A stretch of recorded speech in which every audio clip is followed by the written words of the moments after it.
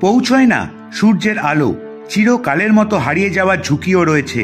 চাঁদের বিপজ্জনক দক্ষিণ মেরুতেই অবতরণ করবে চন্দ্রযান তিন। এই প্রথম চাঁদের দক্ষিণ মেরুতে অবতরণ হতে চলেছে কোনো মহাকাশ যানের। বন্ধুরা, ভিডিওটি সম্পূর্ণ দেখার অনুরোধ রইল। রয়েছে আরও চমক। দীর্ঘ প্রতীক্ষার অবসান চাঁদের উদ্দেশ্যে রওনা দিল ভারতের চন্দ্রযান তিন। শুক্রবার দুপুর দুটো বেজে পঁয়ত্রিশ মিনিটে অন্ধ্রপ্রদেশের শ্রীহরিকোটা থেকে সফল উৎক্ষেপণ হয় চন্দ্রযান তিনের। এর আগে দু হাজার উনিশ সালে চন্দ্রযান দুই অভিযান সফল হয়নি। পালক মাটি ছোঁয়ার মতো করে চাঁদের মাটিতে অবতরণ হয়নি চন্দ্রযান দুইয়ের।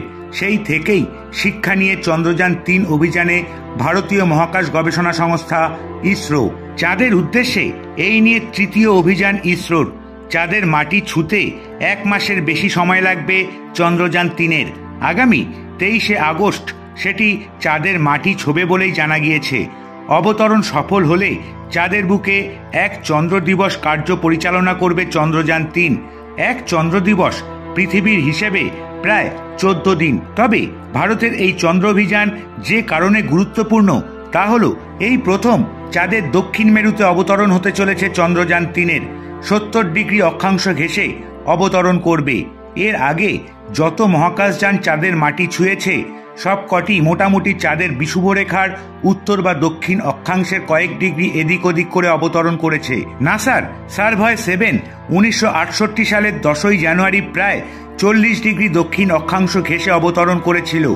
এবার সেই মাপকাঠি ছাড়িয়ে আরও দক্ষিণে অবতরণের লক্ষ্য করেছে ভারত। মানে চন্দ্রযান তিন। এর আগে কোনো মহাকাশ যান চাঁদের দক্ষিণ মেরুতে ছোঁয়ার সাহস দেখায়নি। তা নিয়ে নানা ব্যাখ্যাও রয়েছে। মোটামুটিভাবে এ যাবৎ সব মহাকাশযানই নিরক্ষীয় অঞ্চলের মধ্যে অবতরণ করেছে। চাঁদের দক্ষিণ মেরু বলতে চাঁদের যেদিক পৃথিবীর মুখোমুখি, সেই দিক নয়, পেছনের অংশে। চাঁদের নিরক্ষীয় অঞ্চল অবতরণের জন্য নিরাপদ বলে মনে করেন বিজ্ঞানীরা।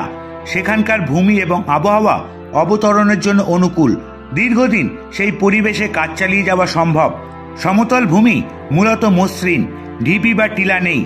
পাহাড়, পর্বত, গহ্বরের সংখ্যাও তুলনামূলক কম। সূর্যের আলোর অভাব নেই। ফলে সৌরশক্তির সাহায্যে কর্মক্ষমতা অক্ষুণ্ণ থাকে মহাকাশ যন্ত্রাংশের। সেই তুলনায় চাঁদের মেরু প্রদেশের পরিবেশ সম্পূর্ণ বিপরীত।